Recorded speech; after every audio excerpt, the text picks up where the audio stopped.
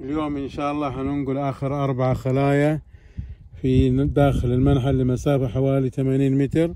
طبعا هذه المواد الشوب نحطها على بوابات الخلايا علشان النحل يدخل إلى الداخل وما يزعجنا خلال عملية النقل.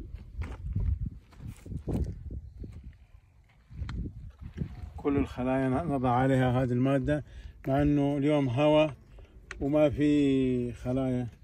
خارج ولكن من باب الحرص أو الاحتياط. حنبدأ طبعا بسحب هذه الخلايا. ووضعها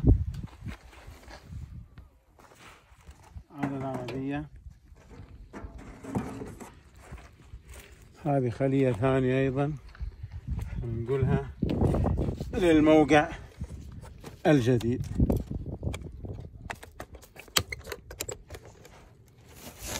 حنخلي التصوير مستمر. وحنشوف مع بعض المكان اللي حننقل له الخلايا. علشان نشوف المسافة إنها داخل نفس المنحل. طبعا هذه الدفعة الثالثة اللي ننقل فيها الخلايا. كل دفعة تقريبا تستغرق ثلاثة أيام. الآن متجهين للموقع الجديد. في نفس الموقع على مسافة حوالي 80 متر أو 70 متر. طبعا بمجرد ما نوصل للموقع حنبدأ بتغطية الخلايا من الأمام. وهذه عملية مهمة جدا علشان النحل الصباح لما نيجي طالع حيلاقي في تغير عنده. وما يقدر يطير بشكل مباشر كما كان متعود. من هنا يعرف إنه حصل في تغير في الموقع.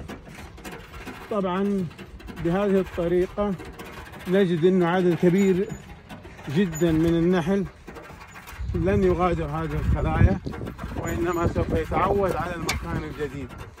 والعدد اللي حيروح للمكان القديم يعني ممكن لا يتجاوز عشرة نحلات أو عشرين نحلة.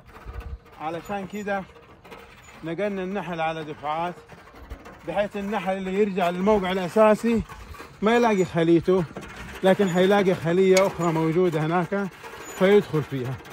فبالتالي إحنا ما خسرنا ولا نحلة واحدة خلال نقل حوالي 12 خلية إلى الآن واللي حنشوفها على كرسي واحد. كل ما جبنا دفعة جديدة نغطيها لمدة ثلاثة أيام. بعد ثلاثة أيام نفتح الغطاء الخارجي المحطوط عليها ويستمر الوضع بشكل ممتاز. الآن وصلنا للموقع الجديد زي ما إحنا شايفين.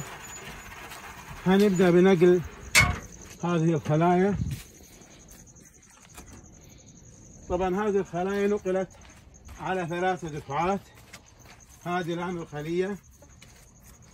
هنضعها في الموقع الجديد بهذا الشكل. وبعد ذلك سوف نأتي بغطاء إضافي ويوضع أمام. هذا الغطاء يبقى لمدة ثلاث أيام حتى يتعود النحل على الموقع الجديد. أيضا سوف نأتي بالخلية الثانية ونضعها بنفس الطريقة.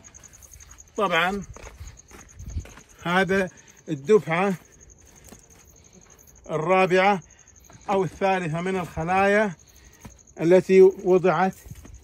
ودائما النقل يكون في الليل وأيضا هذا الغطاء مهم جدا. حيترك هذا الغطاء ثلاث أيام. بعد ثلاث أيام سوف يفتح عنه وبكذا نكون نقلنا النحل داخل المنحل لمسافة 70 إلى 80 متر. ولا يمكن يفقد ولا نحلة واحدة. والسلام عليكم ورحمة الله وبركاته.